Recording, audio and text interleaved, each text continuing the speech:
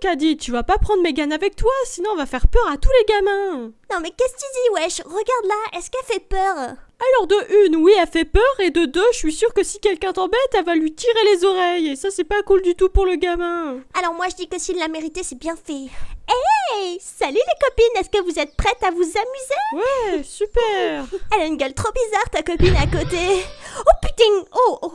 Là là, mais qu'est-ce qu'elle est moche celle-là? Et toi, t'as vu ta gueule? Megan, elle est super jolie, alors ferme-la. Oh, euh, elle dit ça pour rigoler, hein. Hein, Caddy? Ah bah oui, j'espère bien, parce que bon, c'est pas très gentil, hein. Caddy a énormément d'humour, moi non plus, je savais pas qu'un Caddy d'Auchan pouvait être super rigolo. Ah bah dans ce cas, vous devez bien rigoler toutes les deux au supermarché.